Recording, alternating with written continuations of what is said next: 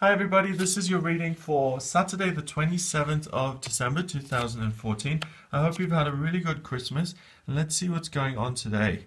So we've got Johnny Cash there weeping over the despair of the world, Eight of Cups.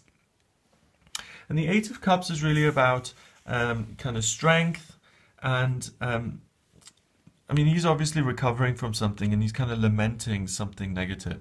It could be very, if it's very trivial, that you may feel a little bit hungover after the Christmas festivities, you know, that all these cups literally having been drained. Or that you could be suffering from an emotional hangover. You know, if you've been um, at home with 30 people, 30 relatives or something who you haven't seen in a while, it could have taken it out of you. So just really.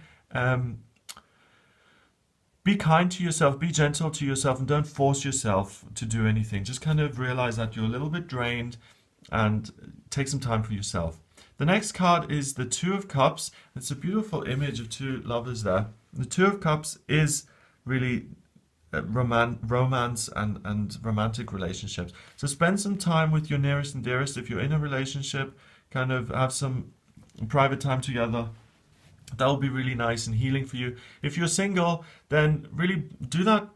Um, tap into the, the, that feeling of romance. You know what this does is it's not just about sex and it's not just about kind of romance and, and the fairy tale magic of it.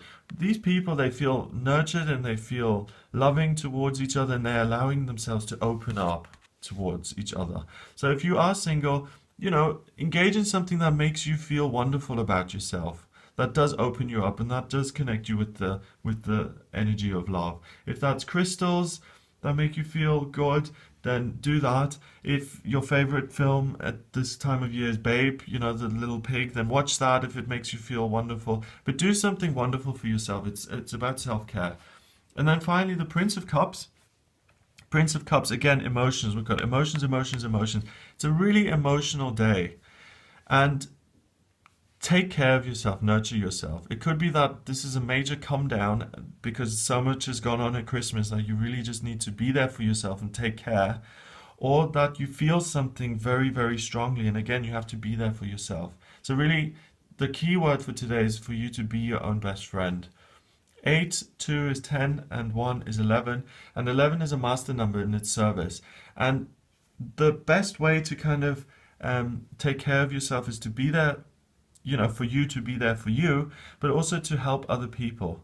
If you start to get overwhelmed, um, a great way to kind of get out of that sense of overwhelm is to help someone else who's worse off than you and who really desperately needs some help. So see how you go with that. Have a wonderful day. And if you'd like to have a private reading with me, please get in touch via my website, gregoryscott.com, and subscribe to my channel for future updates. Have a great day, and I'll speak to you tomorrow. I'm using the Radiant Rider Waite deck for this reading. Let's see what's coming up. Okay.